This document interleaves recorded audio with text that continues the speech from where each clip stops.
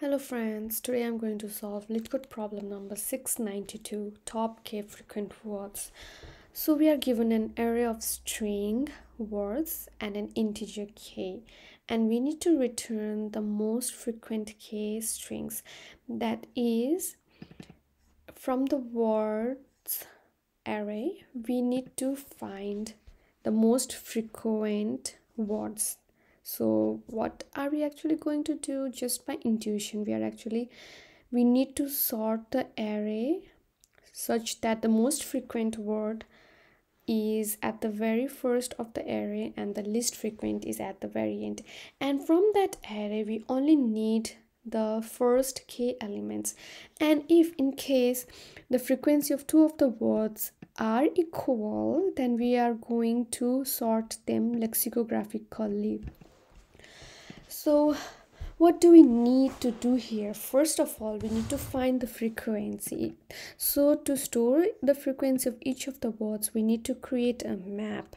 And then once we create a map we need an array to store each of the word unique word. So each of the word in that array will be unique.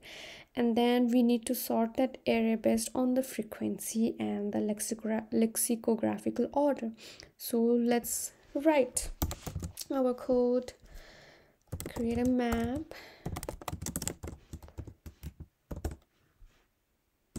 And then for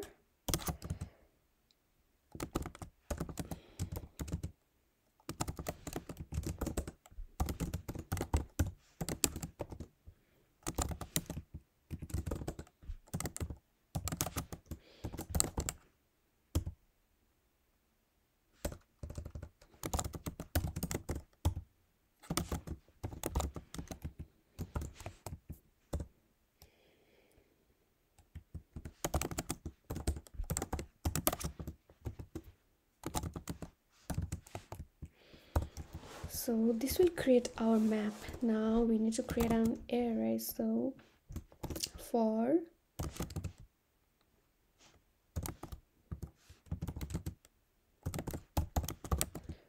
each key in map.key so map.key will actually return an object iterable object with all the keys in the map. So we first of all need to define an array.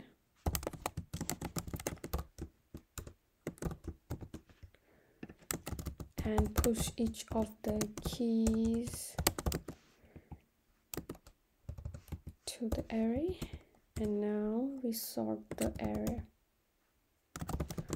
So this will actually sort the array in lexicographical order. Now we need to sort the array based on the frequency.